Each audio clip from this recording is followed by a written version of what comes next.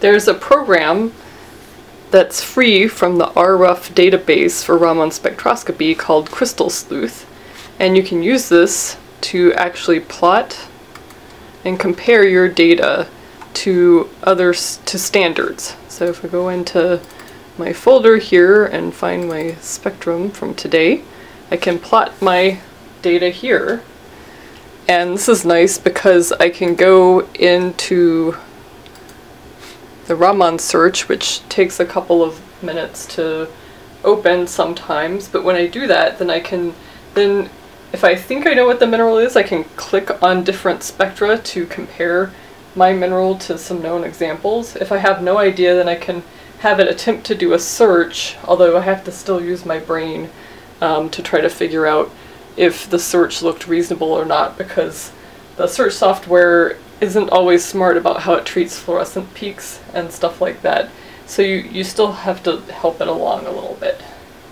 Okay, okay so the search has brought up this window here and I can actually, hopefully you can see that the minerals are listed alphabetically. So if I think I know I have calcite, for example, I could go into here and look up calcite and I could pick some spectra. If I double click on them, you should be able to see over here on the right, uh, sorry, on the left side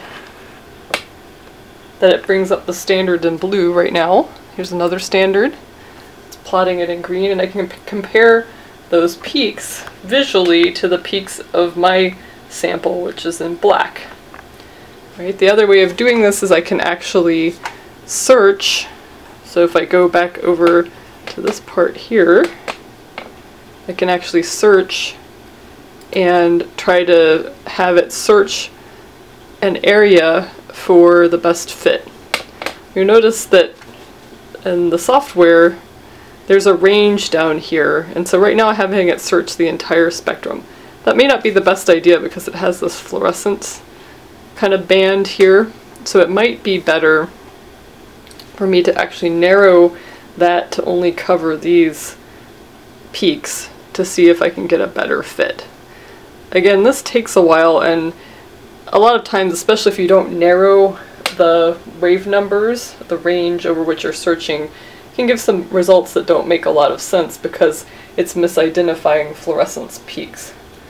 So the results here actually giving things like graphite and amber, which clearly aren't correct. So I can actually go over here and pick a narrower range, like only surrounding these larger bands, and try to search again and see if it comes up with anything.